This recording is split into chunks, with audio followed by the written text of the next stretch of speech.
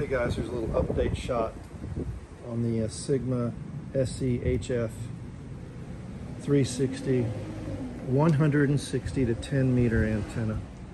All right. So there it is. It's about 20 feet tall. That's all it is, about 20 feet tall. Has an 80 meter radial and a 40 meter radial. Just a basic little mount there with some bricks. Choke there. So it's a couple hundred bucks on Amazon. I got the link on my QRZ page. Um,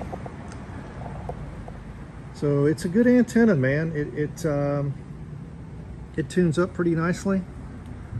Uh, for 160, you're gonna need an external tuner, obviously, to touch it up, but it tunes up everything else within reason. You can slide these whips in and out and you can adjust the whip length.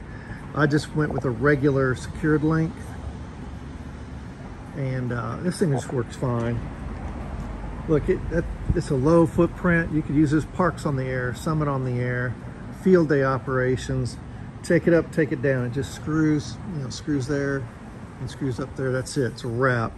Uh, you can un unbolt it. So yeah, it's not pretty. It's not sexy.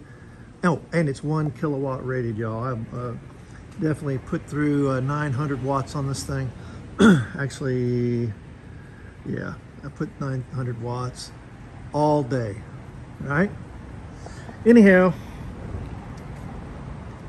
it, it, it's an option, right? I mean, I have some other wire antennas here, but uh, it's it's fun to have a, a vertical, uh, a vertical next to me here. up this guy, it's about 67 feet. Um, so it, you know, um, but it doesn't get 160, 80, or 40, right? Or even 20. Uh, this thing is resonant at 20 meters, y'all, out of the box.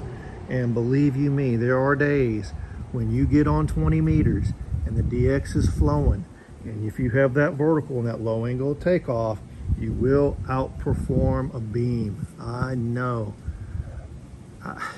trust me. Uh, and it might not make sense, but the results are in the uh, in the logbook. All right, everybody. Once again, the Sigma SEHF 360, 160 to 10 vertical antenna, one kilowatt rated. All right, take care.